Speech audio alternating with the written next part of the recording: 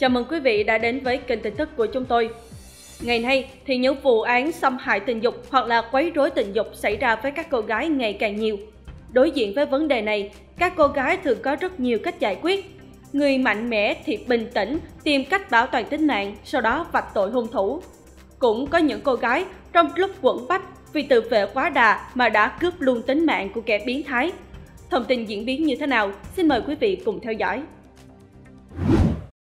Ngày 30 tháng 8, Cơ quan Cảnh sát điều tra Công an tỉnh Tuyên Quang đang tạm giữ hình sự đối tượng Vũ Tuấn Anh, sinh năm 1984, trú tại xã An Tường, thành phố Tuyên Quang, để điều tra làm rõ hành vi sát hại anh Nguyễn, sinh năm 1990, trú tại xã An Tường, thành phố Tuyên Quang. Tại cơ quan điều tra, Tuấn Anh bước đầu khai nhận khoảng 23 giờ ngày 29 tháng 8, Vũ Tuấn Anh dẫn vợ cùng con 9 tuổi đi ăn bánh cuốn tại phường Tân Quang. Tại đây, Tuấn Anh gặp một số người quen đang ăn uống tại quán nên đã sang mời rượu. Ít phút sau, anh Nguyễn sang bàn vợ chồng Tuấn Anh mời rượu và ngồi ngay vợ Tuấn Anh. Thấy anh Nguyễn tay cầm chén rượu, tay còn lại vỗ mông vợ mình hai bà phát. Tuấn Anh bực tức nên đã gọi anh Nguyễn ra nói chuyện. Hai bên sau đó xảy ra lời qua tiếng lại, xô xát. Trong lúc bực tức, Tuấn Anh lao vào trong quán bánh cuốn, lấy một chiếc kéo đâm anh Nguyễn nhiều nhát. Dù được mọi người đưa đi cấp cứu, nhưng anh Nguyễn đã tử vong. Về phần Tuấn Anh, sau khi gây án xong, nam nghi phạm đã bỏ trốn khỏi hiện trường. Nhận được tin báo, ngay trong đêm, Công an thành phố Tuyên Quang và các đơn vị nghiệp vụ Công an tỉnh Tuyên Quang đã vào cuộc khám nghiệm, điều tra và truy bắt Vũ Tuấn Anh. Tới 9 giờ sáng 30 tháng 8, Vũ Tuấn Anh đã tới cơ quan công an đầu thú khai nhận hành vi phạm tội. Vợ mắt bị sàm sỡ, chồng gây án mạng. Trưa 27 tháng 7, anh Nguyễn, 30 tuổi, quê ở Quảng Ninh, tới chơi và trò chuyện cùng vợ chồng Nguyễn Văn Huy, 32 tuổi, trú tại thành phố Cẩm Phả, cùng tỉnh. Lúc sau, Huy ra ngoài thì nghe vợ mách bị anh Nguyễn sàm sỡ. Trong cơn nóng giận và thấy vị khách ra về, Huy đuổi theo rồi hành hung. Bị đối tượng dùng gạch chống trả, người đàn ông 32 tuổi lấy ống tuyếp sắt tấn công. Theo điều tra, do Huy bị ngã nên anh Nguyễn giật được hung khí để đánh lại. Chứng kiến bản thân bị đánh, Nguyễn Văn Quy, 34 tuổi, ở thành phố Cẩm Phả, lấy dao truy sát anh Nguyễn. Trong cuộc xô xát, Quy đâm chết nạn nhân 30 tuổi. Sau khi gây trọng án, hai nghi phạm thuê taxi bỏ trốn. Một ngày sau, họ ra đầu thú.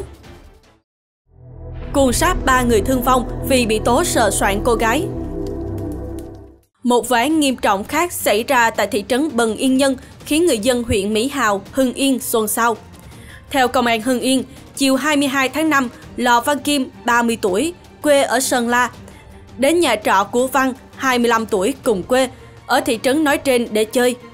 Tối đó, Kim ở lại ăn nhậu với bạn và một số thanh niên cùng xóm trọ.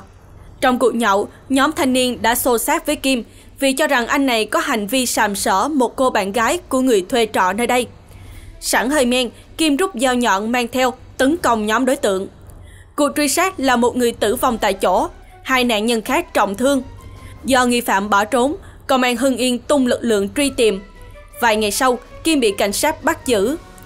Theo xác minh, thanh niên 30 tuổi có tiền sử cai nghiện ma túy. Cô gái rút dao đâm chết người sàm sở mình sau khi ăn cổ. Cuối năm 2017, một vụ án mạng thương tâm xảy ra tại một huyện vùng cao của tỉnh Hà Giang. Trong đó nghi phạm cũng chính là nạn nhân vụ việc.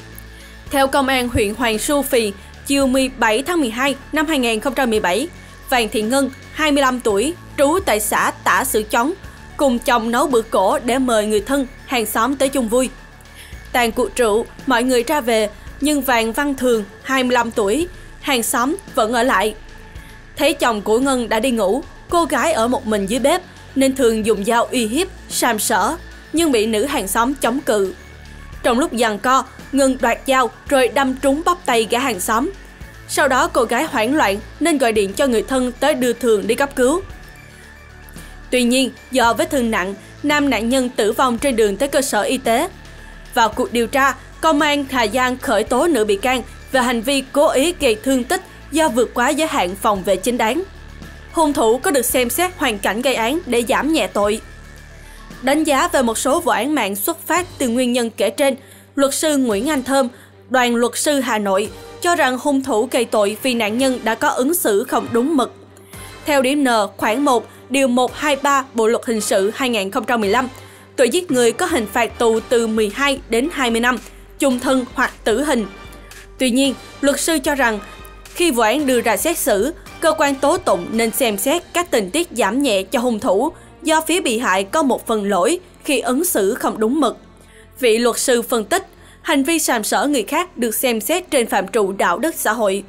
Nếu có căn cứ xử lý, thì hành vi này có thể bị xử phạt hành chính với mức phạt từ 100 đến 300 ngàn đồng. Theo quy định về hành vi có cử chỉ, lời nói thô bạo, khiêu khích, treo kẹo, xúc phạm danh dự, nhân phẩm của người khác. Theo đơn kháng cáo kêu oan của bị cáo Trần Văn Đùa, 43 tuổi, ngụ tại huyện Đất Huệ, tỉnh Long An. Trước đó, tháng 1 năm 2017, Đùa bị Tòa án Nhân dân tỉnh Tây Ninh tuyên phạt chung thân về tội giết người. Cho rằng mình bị oan, Đùa đã làm đơn kháng cáo, đề nghị tòa trả hồ sơ để điều tra lại. Khoảng 14 giờ ngày 31 tháng 1 năm 2016, tại một tiệc cưới ở huyện Châu Thành, tỉnh Tây Ninh, Đùa cho rằng ông Lương Văn Phước có hành vi sàm sỡ bà Lê Kim Sang là chị vợ của Đùa. Vì vậy, Đùa tức giận đánh vào mặt ông Phước. Khi hai bên xảy ra xô xát, mọi người đã ra sức can ngăn, tưởng rằng mọi việc đã kết thúc, ai về nhà nấy. Một lúc sau, gia đình Phước gồm cha, mẹ và anh chị em kéo tới đám cưới để tìm đùa nói chuyện. Biết tin, đùa lấy vỏ chai thủy tinh đập vỡ làm hung khí. Quay lại đám cưới. Con trai đùa cũng đi theo. Khi gặp nhau, Phước xông vào đánh đùa làm cả hai té ngã. Đùa ngồi đè lên người ông Phước, cầm mảnh vỏ chai đâm một phát vào ngực ông này. Thấy anh bị đánh, em trai ông Phước là Lương Chí Cường cầm vỏ chai thủy tinh đã đập bể và đâm liên tiếp vào lưng, hông lẫn mông của đùa gây thương tích. Đùa quân ngược lại vỏ chai, đâm trúng vai của Cường. Lúc này một người em khác của ông Phước là Lương Thanh Long cũng lấy sẻn đánh mạnh vào đầu đùa. Khi phát hiện ông Phước nằm ngã ngửa, chuỗi thẳng hai tay, co giật, máu chảy nhiều và có người la lên thì các bên mới dừng lại. Tại cơ quan điều tra cũng như tại các phiên tòa, đùa một mực kêu oan và khẳng định mình chỉ phạm tội cố ý gây thương tích chứ không phải giết người như truy tố. Trước đó, tháng 7 năm 2017, Tòa án Nhân dân cấp cao tại thành phố Hồ Chí Minh đã phải tạm hoãn phiên tòa để triệu tập thêm nhân chứng. Tại phiên tòa hôm nay, các nhân chứng trong vụ án tiếp tục không có mặt. Vì vậy, sau hai lần hội ý và nghị án, hội đồng xét xử một lần nữa lại quyết định hoãn phiên tòa để triệu tập nhân chứng nhằm đảm bảo sự khách quan.